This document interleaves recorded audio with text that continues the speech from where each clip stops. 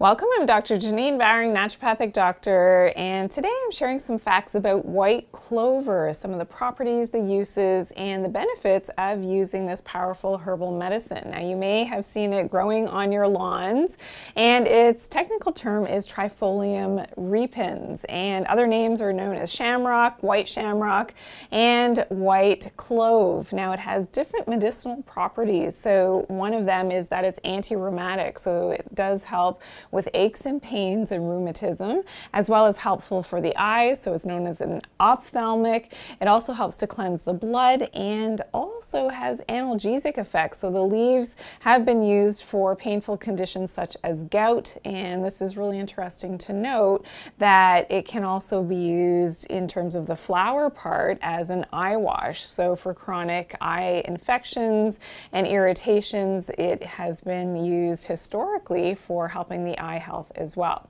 White clover is also known to help with coughs because it is an expectorant, so it can help to get that mucus out of the lungs. It has an antiseptic effect as well, so killing off some of those less favorable organisms and bacteria can be very helpful for colds and flus and chronic respiratory issues, especially if there's a bacterial component there.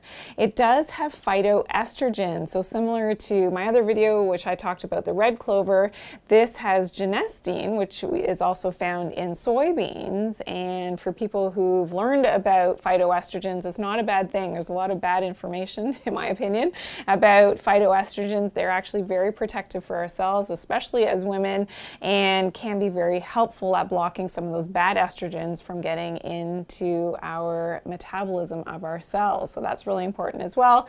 And white clover is also known to help to cleanse the lymphatic system and the blood blood. So for common complaints of skin irritations, which we know has a lot to do with the toxicity internally, the white clover can be really helpful to move those toxins, help to clean up the lymphatic system and the blood as well, and of course doing it naturally. So if, I hope you've got some questions or comments for me, please do drop them in the comment section below and also share this video and give me a big thumbs up. I truly appreciate all of your great feedback. If you're new to my channel, welcome in. I hope that you'll subscribe and also click that bell so that you're notified of all of my newest and latest uploads, which happens every single day of the week.